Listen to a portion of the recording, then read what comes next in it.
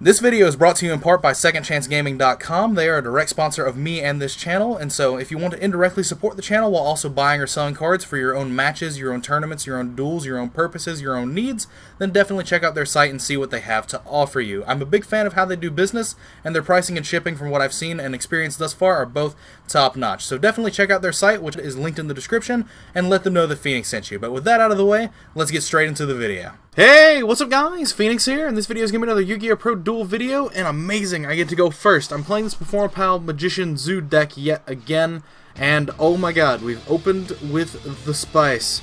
Alright, so what I can do here is, I've got the Dragoon's Draconia on hand, which means I don't have to search that with, uh, with my, um, with my nonsense. Uh, but I do get to put uh, the Pendulum Sorcerer in the scale and use Barrage on it, just to maintain it as a card. So that is what we're going to do, because we've got the Duelist Alliance that we can use um, to get access into Pendulum Rising to allow for a very, very good play string uh, going forward. So we're going to just do this, and someone commented on the last video that I made, it's like, why aren't you just playing Pure Zoo if you're just uh, making Emerald and Drident all the time? It's not really the case of, like, why I'm doing this, because I'm doing this because of the fact that this is a deck that post-ban list has the better draw engine out of any of the Zoo variants, and it's got one of the most strong, like, backup plans as well, because of the fact that this engine that this deck has is uh, is something that allows you to pendulum summon every turn. Like that's that's a huge thing. So uh, we'll add a whip tail to end because that'll support the Drident, and then this could also go under something if I need it to. But so what happens from here is that I activate the Dragoons in my scale, and then I use this for the Pendulum Rising, and then I go into my Shaka 9 and go from there uh, to get back my stuff, to get back my Ratpier that I will not be used to, using to overlay with, but I will be able to send it off Pendulum Rising. So, I mean, basically the Pendulum engine that this deck has access to is just one of the strongest things that you could have um, access to in terms of being a nice supplement to what you're doing. Now, I could have gotten Luster uh, off off of the uh, Duelist Alliance, but I don't see any real need. Uh, now, because of the fact that I've got this on the board, I could pop the Barrage, or I could leave the Barrage to be a resource for later. I definitely want to pop this, and I haven't normal summoned yet, so I am going to do the combo where I just use uh, the pop on the Pendulum Sorcerer itself. So, adding Guitartle and adding Skullcrobat Joker, and so this will allow me to do the full thing with Wisdom Eye Magician and everything. Uh, so it just basically, the supplemental engine the Performapals and the Pendulum mechanic itself gives you, just gives you a nice recovery option, a nice recovery plan uh, that ends up working out very well for you in the uh, in the long and short term. Uh, but so from here, King of the Feral Imps over these, so that I can search my Lizard Draw, get some draws going in that regard. Uh, I want to detach the Ratpier specifically for this one uh, to get the Lizard Draw. So I'm not too worried about that uh, that Skullcrobat Joker being uh, stuck down there. But so then activate Guitartle, activate Lizard Draw. We'll start getting uh, we'll start getting our stuff. Now I don't even know what my opponent's playing at this point. Uh, but this is just so inherently strong because it allows you to draw so many things. So there's another barrage. So I mean, uh, there's another strike. That's very good. Uh, and then we get to activate this and uh, use this to pop it for Dragon Pulse Magician to be a good, just good low scale because I can leave it in my scale as a low scale, or I can pop it out of my scale at a later time. Uh, but so now I get to Pendulum Summon, so I'll Pendulum this from the extra deck, this from the extra deck, and I'll Pendulum the Dragoons of Draconia. I'm going to leave the, uh, the other Pendulum Sorcerer in the extra deck, because I'm going to be overlaying with this one. Uh, so that'll just be a resource that's left in my extra deck that'll be very, very good for me. Uh, but so, we'll go into the Emerald here, and I'm going to use the Emerald over the uh, Dragoons of Draconia and the, the uh, Pendulum Sorcerer.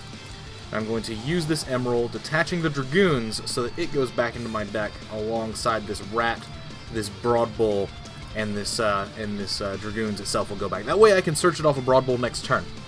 Uh, and have that. Damn it! I didn't want to draw the Rat. Fuck that. Um, it's gonna get summoned out of my hand. So there's there's one uh, there's one little less plus that I get because I just drew that rat. Um, that's irritating because I'm gonna re-equip the rat here under the Tiger Mortar, and then use the Tiger Mortar to summon that rat that I literally just drew from my hand. Uh, rip in peace. Uh, but then I'm to just summon another Daigusto Emerald, get another draw again, and we should be good to go. And I'm to set three. I'm to set the... I'm going to set all the stuff. Uh, but so I'll detach the Wisdom Eye here. I'll put back Wisdom Eye, put back Shaka-9, and I'll put back Rep here. And so those will all go back. I'll get to draw another card. There's okay then. Well, looky looky. Um, like all this stuff is just super strong and super good uh, for what it allows. I've got the Whip Tail in hand, so I'm perfectly fine with summoning the Drident in attack mode um, with just one material under it. I'm just gonna I'm gonna set four and I'm gonna pass. I've got my scales up. I've got a sorcerer in my extra deck. what what more do you want me to do? What more do you want from me? Like this is uh this is the reason why I'm playing the pendulum stuff is because it just allows you to have all of the access into all of this stuff. Uh, whereas like you know with regular Zoo post ban list, you don't get access into anything. I wonder if he's playing Paleo. Uh, he's setting a lot of cards, and it makes me feel very bad that he could be playing Paleo. Uh, and this motherfucker, whenever he plays Paleo, uh, he plays cards. He plays cards like Waboku and Storming Mirror Force and shit, and it always irritates me to no end. Uh, but, so, I don't have access to using either of these emeralds yet, but I do have access to Barrage summoning from deck and King of the Feral Imps getting me a Lizard draw.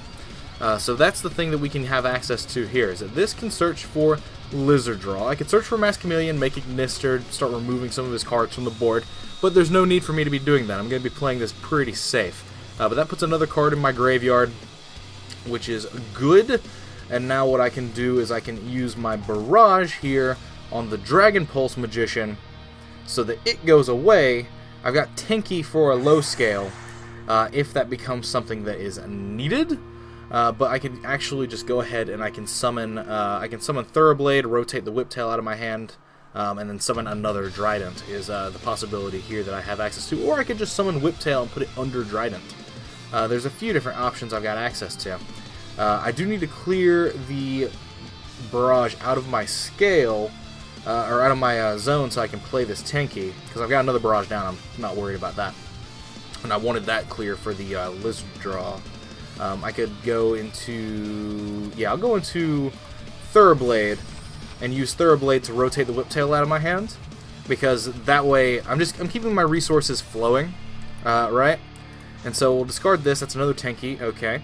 Uh, now what I'm going to utilize here is I can use Emerald, I can activate and draw cards, but I'm going to first do my Guitartle Lizard draw play, uh, so that I draw cards before I put cards back into my deck. Uh, that's a Sky Iris, that's very good, that means that I actually just get to pop this Barrage now, uh, without actually, um, without actually having to use Drident on it. That's actually just great. Um, but so my entire board is really clogged, but that's fine.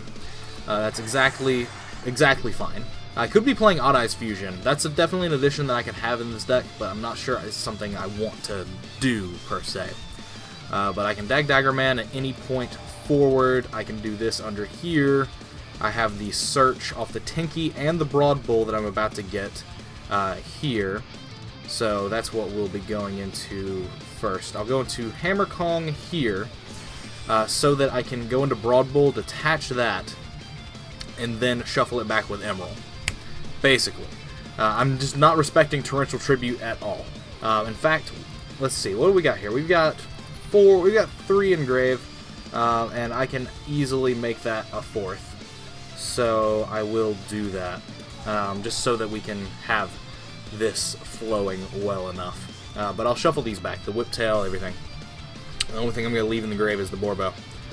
Uh, and so that goes, draws a card, it's another Tenki. Fucking hell. tenki, Tenki, Tenki. Um, okay, so now from here, I'll be able to go into the Broad Bull over this. It'll have its boost, uh, which is what we're looking for.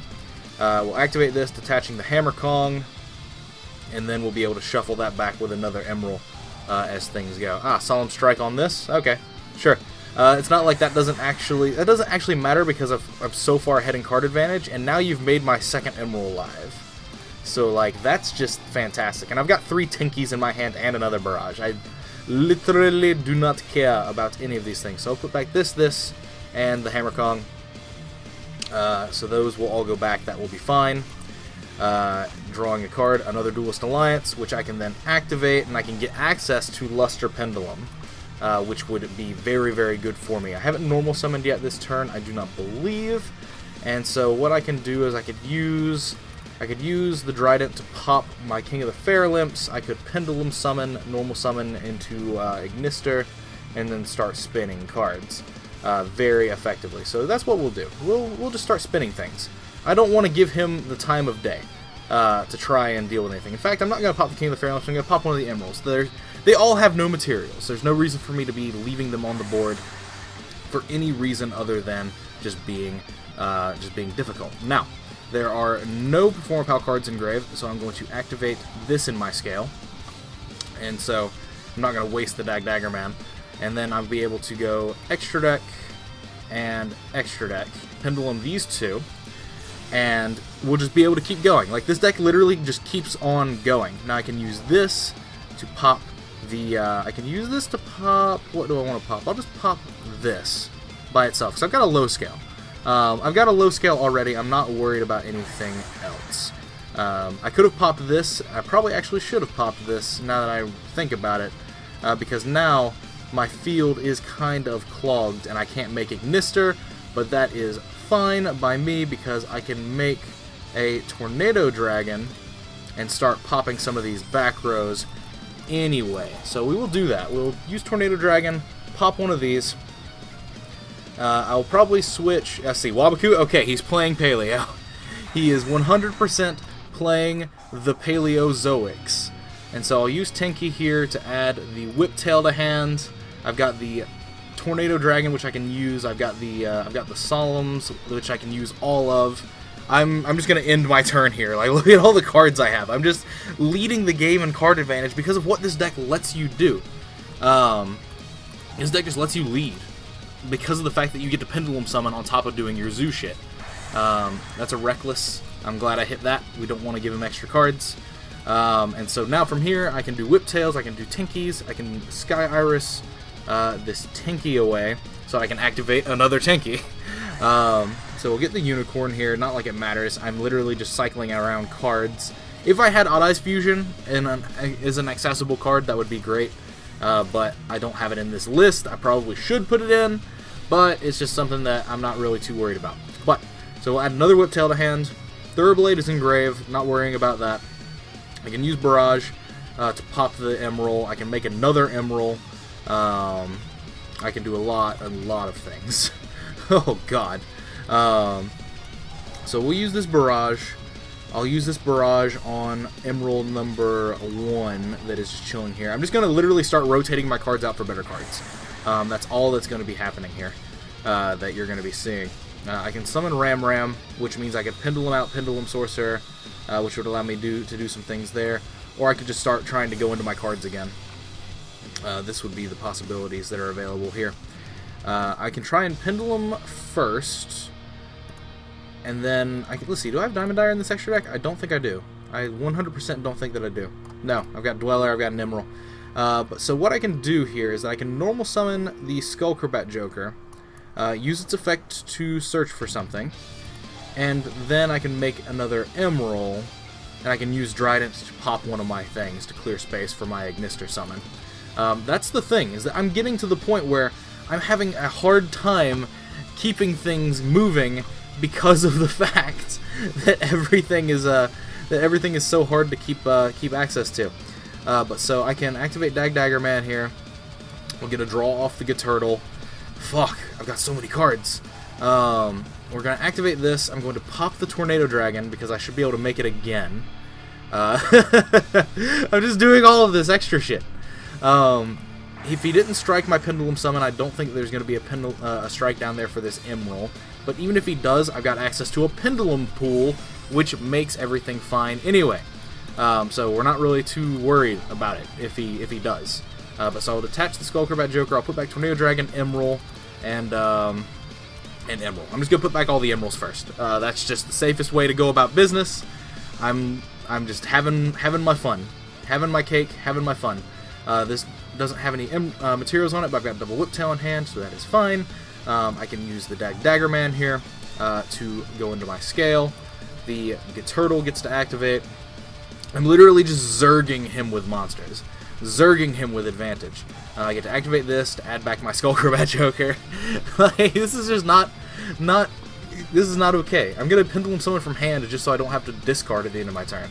Um, so I can Pendulum Summon out this, and, uh, this. Yeah. We'll Pendulum these from hand. Um, because they'll be synchroed with, they'll go into my extra deck as resources anyway. Uh, not worried about it. Uh, but so now I get to make Ignister, which I can use to spin away his monster, because I have no idea what it is. Um, so that's Ignister out. I can use Ignister here to uh, pop the Dag Daggerman, or I could pop the Guitartle, since it's done its business, basically. Um, there's a few different things, but I want to get uh, value out of the Wisdom Eye, um, which Wisdom Eye can only get low scales for me. Uh, so that's something I'm not worried about. In fact, I don't think I'm worried about this because I've got literally every trap in the game to deal with monsters. So I'm just going to start spinning back rows. Uh, this is something that I'm perfectly fine with, uh, is just maintaining. Um, but I need to get rid of one of these uh, at some point, just to maintain that. But I'm going to put the Wisdom Eye here, I'm going to pop it for a Dragon Pulse. I've got so many low scales that I've got access to. Oh wait, I don't have any Dragon Pulses left in my deck, do I? Okay, well, then we're just going to protect it and use Barrage or Ignister on it next turn. I'm literally just trying to get cards out of my hand. It's it's okay. Um, we we've gotten we've gotten everything that we need out of our advantage yield. Uh, I don't even care if he has something like Storming Mirror Force or a Mirror Force because then that just puts everything back. I'm gonna turn this to defense position just because it doesn't necessarily. I don't necessarily want to leave myself wide open. Uh, I'm going to attack this. I'm going to mute my phone. I'm going to attack this, and uh, and basically just banish this Ronintoadin. Uh, even if either of these were anything that I was worried about, not not something that's going to be a problem. We're just gonna we're just gonna whittle him down. We're winning the game on card advantage purely. I've literally just taken like a minus five from my hand this turn, just so I didn't have to discard. Uh, in terms of just putting Whiptails under the Trident, doing all this extra shit. Uh, do I have any other things I can activate that can destroy cards so I can activate this other Tinky? No, I do not. So we are just going to uh, pass turn and see what happens. Now I've got a Ghost Ash too. I've got an Ash Blossom. This deck is so powerful. I have so much fun with this deck. I feel like this deck is going to be absolutely insane. Um, once we... I'm to... Ash Blossom the Reckless Greed. Fuck Paleo. Fuck this deck. This deck is this deck ain't nobody's fool. I'm not gonna I'm not gonna fold to this bullshit.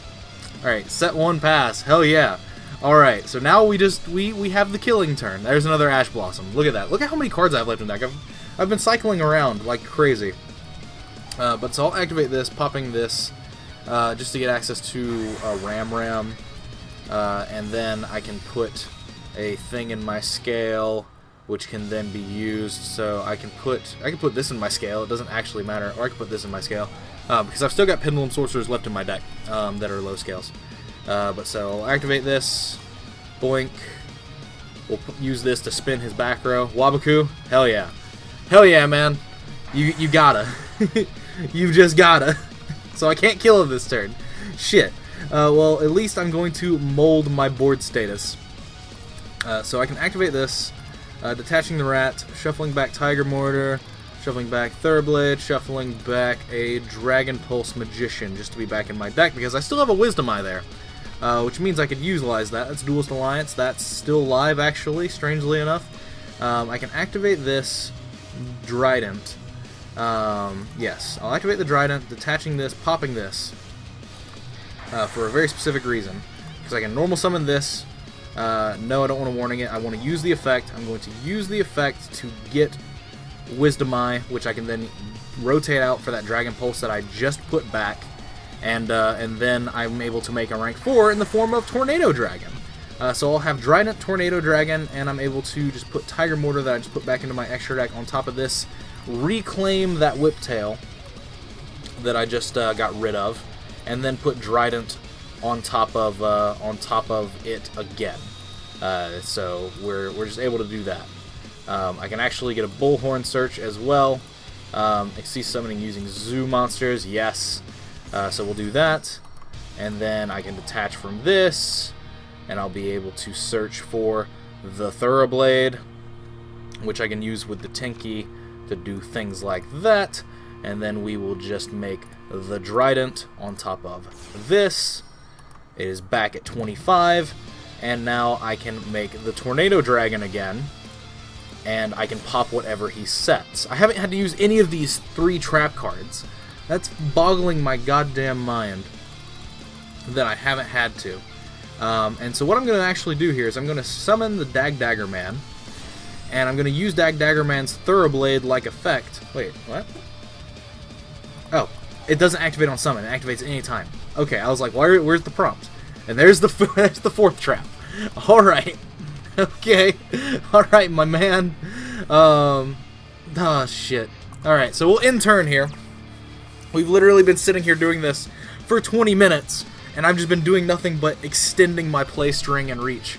Um, but so, in phase, Tornado Dragon, bye Felicia.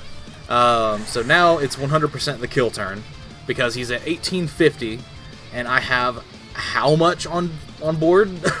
let's, let's not think about this. Alright, so we're just going to attack with this Trident, and that's just going to be game. Okay, so he's playing Paleo, and I gave him a Royal Dicking uh, for how that was meant to be going. Uh, because I was able to start, and I was able to do my amazing combo.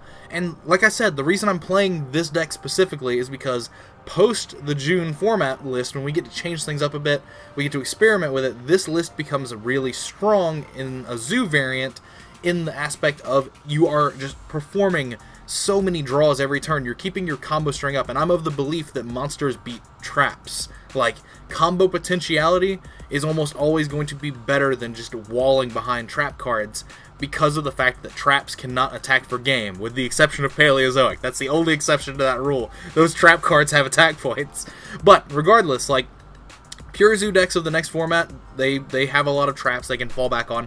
I'm in the aspect of you know I'm in the area of belief that if you're able to pop off and combo consistently and be able to do it a lot, then your deck is inherently going to be much better suited for success because of that's how that ends up working because you're more aggressive, you're able to generate your own defensive lines, you're able to do things every turn through your opponent's traps, things like that.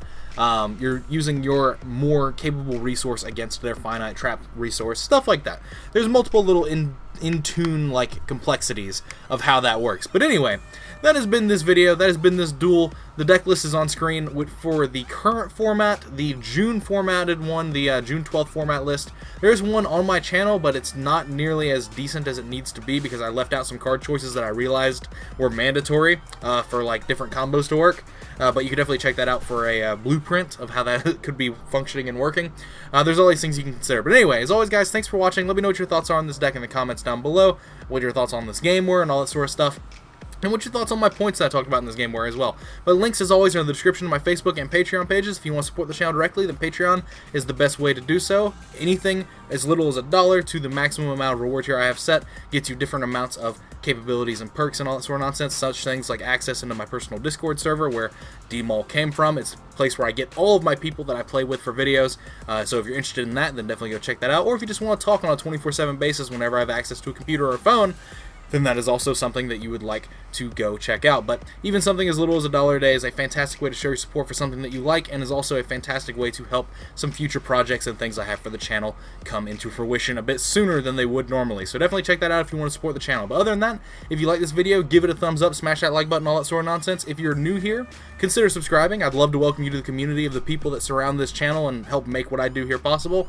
And all that sort of stuff would welcome you if you're new here definitely subscribe if you want to see more awesome YouTube content. But other than that, again, thanks for watching. Thanks for your time as usual, guys, and take care. I will see you in the next video.